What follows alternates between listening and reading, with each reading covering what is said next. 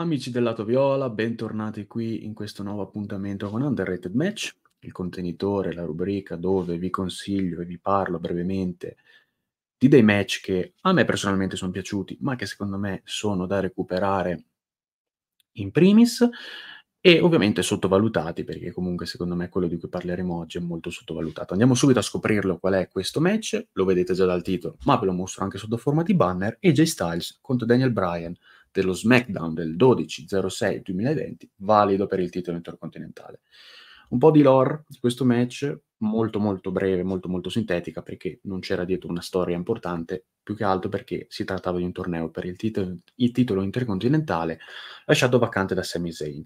Altra particolarità molto molto importante da non eh, sottovalutare, che comunque probabilmente eh, ha, come dire, mh, influito ecco, nel giudizio finale, nel giudizio generale, è quello che era durante il periodo pandemico, perché comunque quindi erano eh, a porte chiuse nel performance center, quindi capirete comunque che è abbastanza desolante come contesto, però è un match che è il mio preferito del periodo pandemico e secondo me è anche uno dei migliori match targati WWE nel periodo Covid, quindi eh, anche solo per questo secondo me merita la visione, ve lo consiglio fortemente.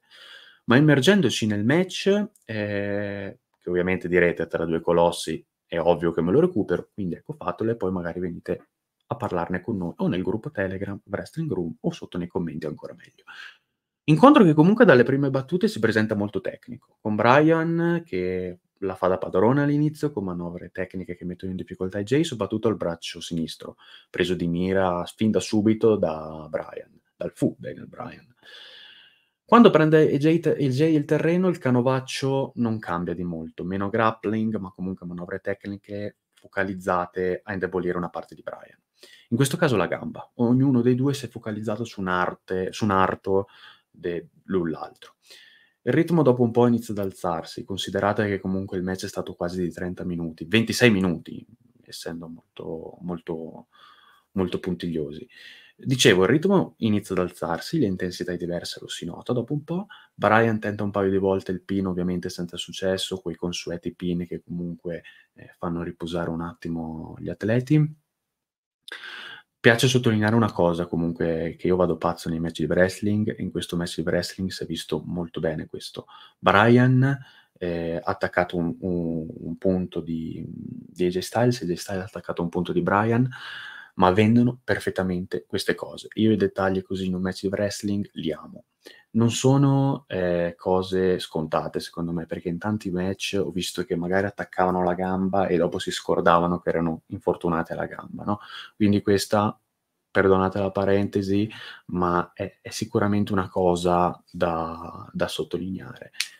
E andando avanti, comunque, nel match il ritmo cambia sempre di più perché comunque andando avanti l'intensità aumenta e cambiano anche comunque diversi stili. Eh, c'è un momento verso la metà eh, che si va anche più verso l'high flyer con magari tipo Brian mi ricordo che provava un back suplex e Jay che comunque ha fatto il suo classico eh, DDT Moonsault, sempre però vendendo i loro due infortuni, soprattutto Brian in un momento quando cerca di andare sulla terza corda però quando, un, quando tenta un moonsault a terra e zoppica perché appunto AJ aveva provato prima, o meglio, ha attaccato la gamba di Brian durante il match. Questa è una cosa veramente molto bella. Eh, nelle battute finali Brian cerca di chiudere la contesa con la Yes Lock, senza successo perché comunque J Styles con non poca fatica va a trovare le corde col piede destro.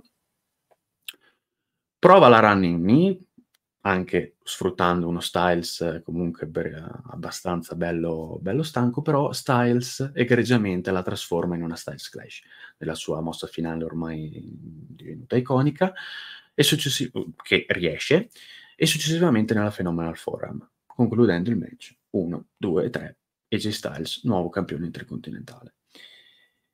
Io credo che questo, ehm, sia un match da recuperare per i motivi detti precedentemente, ma anche perché hanno mixato gli stili di lotta in un modo veramente molto egregio. E soprattutto una cosa che ho notato, ehm, è che secondo me in questo match pare che appare, più che altro in questo match, che hanno avuto più libertà secondo me, per il semplice fatto che i loro match che hanno avuto precedentemente a questo, mi ricordo un TLC, fu veramente brutto per per le qualità che hanno i 2, e qui invece son tornati con la chimica che tutti si aspettavano di avere, quindi secondo me qualcosa sotto c'è.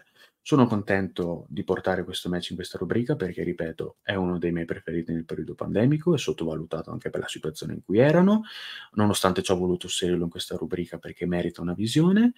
Ehm, credo che inoltre mhmm, forse qui la sto dicendo grossa, ma ditemelo anche voi nei commenti, cre dopo aver visto il match, credo che tolta la parentesi dei giorni nostri di Gunther, questo sia il miglior match per il titolo intercontinentale degli ultimi almeno 7 anni, andando larghi. Purtroppo però è sottovalutato per i motivi che vi dicevo prima. Però veramente io vi ve lo consiglio fortemente. Ehm, i 2 atleti comunque piacciono a molti, quindi magari recuperare qualcosa del loro repertorio non fa mai male, qualcosa che magari vi eravate persi. Ehm, io vi ringrazio per essere arrivati fin qua, per aver visto questo video, per per avermi fatto anche compagnia in qualche modo, o meglio io per avervi fatto compagnia. Ehm, vi rimando un altro video del lato viola del ring e un altro video di Underrated Match. Grazie mille.